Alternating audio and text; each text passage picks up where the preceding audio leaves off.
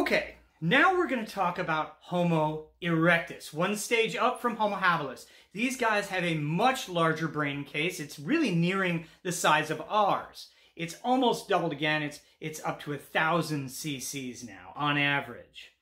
Here we have several individuals, each one their own person. But what I want you to look at are the things that are in common with these.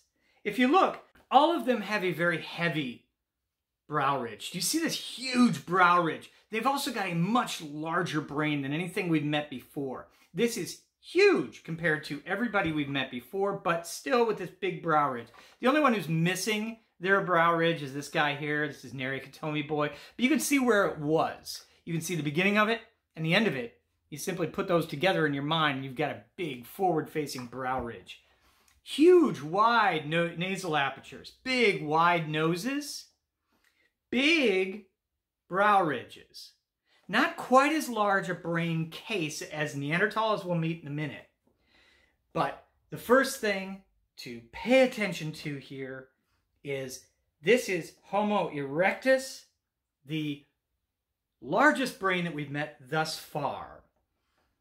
The things to keep in mind here, to look at. Homo erectus always has this sort of point on the top of the head. This is harder to see when you're looking at it in two dimensions. In three dimensions, it's very easy to see. Let me hold his, see that little point right here, that nub at the very top of his head? It's kind of like a little, like this part of the head, let me get this lined up for you. You see how this part of the head and this part of the head, and then you have this numb here, this kind of keel it goes down the length of the sagittal suture. Well, sure enough, that's what they call it. They call it a sagittal keel because somebody thought this looks like the bottom of a boat. Can you see that? How it slides in like this, slides in like that, and then there's this sort of sharp mohawk down the middle. Now, not to be confused with a sagittal crest that we met with Paranthropus. Now we're seeing just a keel because these guys have much smaller chewing muscles, smaller mouths, but big brain cases. So these three individuals, I've given you ideas of how to recognize each one of these. I'll give you a couple more. This guy, to me, looks, again, kind of like caramel ice cream. You've got your vanilla ice cream here, which is the reconstruction, and then this caramel swirl here. But the main thing is that huge brow ridge that you see. Okay? This guy here, I don't know.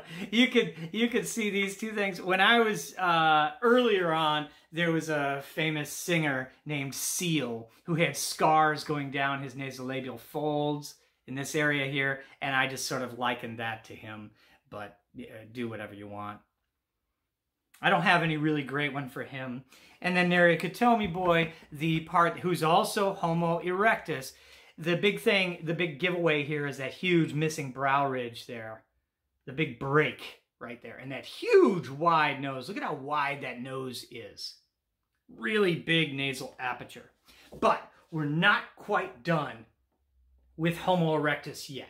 The next two are specialized, so they have a different name, but they're still in the family of Homo erectus. They're just a little different.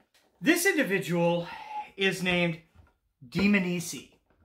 No homo, because he's considered Homo erectus. You can still see that big lump on top, this, this nub on the top of his head. But this one's special. The reason I consider him special, Dmanisi, the name comes from where he was found. He was found in Dmanisi, Georgia, meaning the Republic of Georgia, not the state of Georgia, just to clarify. But Dmanisi, which if you sound out that name, Demon, Isi, sounds like he's a demon, also has a nickname, and it's based on this. Do you see how his canines here and here, and the, his all four of his front incisors have been broken away, and so his canines poke way out here. So they started calling this the vampire skull. Another thing, which if you can see, if the light is just right, it's got kind of that greenish hue to it. To me, it looks like a glow in the dark skull from like Halloween. So those canine teeth sticking out like that because the other teeth are missing. The other ones would look like this if we broke out all four of their front teeth too. This is a Homo erectus, usually, but we consider it Dmanisi because of where it was found being kind of an original area. And for a while, they thought this guy might be different. So the best way to remember this is the coloration, this kind of greenish hue, or this light, I don't know, hue to it. The sticking out canine teeth that make him look like a vampire.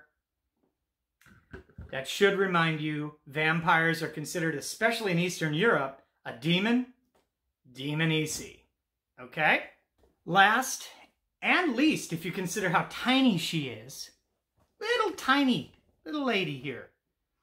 This is Homo floresiensis. Homo floresiensis, if you'll remember, if you had me for 101, you'll know I went into a big deal about Homo floresiensis. She's important because she changed everything as far as the way we rate things, what we thought prior to the discovery, and how science works. But still, if you look, look at that.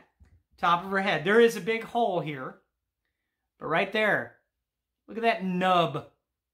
Just like the rest of the Homo erectus. She's got a relatively high forehead, but she's got that keel going on right up here. That nub in the top of her head. Let me see if I can get it lined up right. See it? Woomph. Whoomp. It's like the roof of a house. So she does fall into the category of Homo erectus. She looks just like him. The difference is she's tiny. Look at how small she is. Teensy, tiny little thing. Now again, in our face-to-face -face classes, this is much easier because you can see it. You can see this from across the room, how tiny she is, and you can see that she's got this big old brain case and that sagittal keel, so that all tells you, hey, she, and the big brow ridge, by the way, she is Homo erectus, but she's not Australopithecus because her brain is too big. But because she's so super small, we call her something special. Homo floresiensis. The other reason is she was a very late surviving Homo erectus, which is very interesting. But if you look at that head shape, boy, it is exactly like Dmanisi. It is exactly like the other three boys we met earlier, Homo erectus.